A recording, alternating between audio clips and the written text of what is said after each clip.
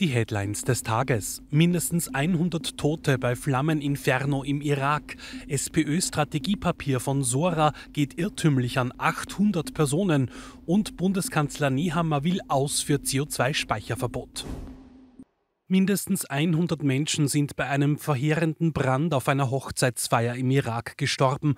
Rund 150 weitere Menschen sollen verletzt sein. Dabei handelt es sich um eine vorläufige Bilanz. Erste Hinweise deuten darauf hin, dass Feuerwerkskörper den Brand an einer Decke ausgelöst haben könnten. Die Decke soll leicht entflammbar gewesen sein und nicht den Sicherheitsstandards entsprochen haben. Die irakischen Behörden haben Haftbefehle gegen vier Besitzer der Location ausgestellt. Außerdem wurde ein Untersuchungsausschuss eingerichtet, welcher die genauen Umstände des Unglücks klären soll. Das am Dienstag unbeabsichtigt an die Öffentlichkeit gelangte SPÖ-Strategiepapier von Sora hat unangenehme Konsequenzen für das Meinungsforschungsinstitut. Als Reaktion beendete der ORF seine Wahlzusammenarbeit. Parteichef Andreas Babler in einer ersten Reaktion. Es ist eine von vielen Agenturen, die Überlegungen macht, Vorstellungen macht, aber es ist keine SPÖ-Strategie.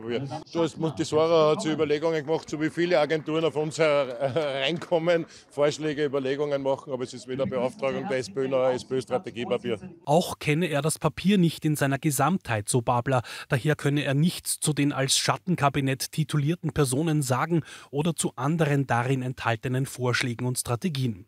Am Dienstag sollte die Unterlage der SPÖ per Mail übermittelt werden, wurde aber fälschlicherweise an den falschen Verteiler mit rund 800 Empfängern versandt.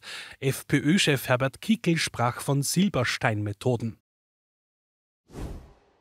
Bundeskanzler Karl Nehammer drängt auf eine Abschaffung des Verbots für die geologische Speicherung von CO2 in Österreich. Das sagt er heute bei seinem Besuch in Norwegen, wo er sich gerade zu einem Arbeitsbesuch in Oslo befindet.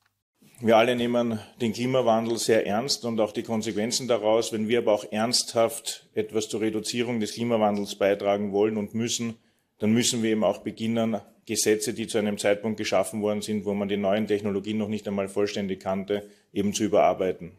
Norwegen zeige die Speicherung von CO2 seit vielen Jahren vor. Nun sei es an der Zeit, dass auch Österreich das tue, sagt Nehammer. Das skandinavische Land gilt als Vorreiter im Bereich der umstrittenen CO2-Abscheidung und Speicherung. Weitere News lesen Sie 24 Stunden online auf kurier.at.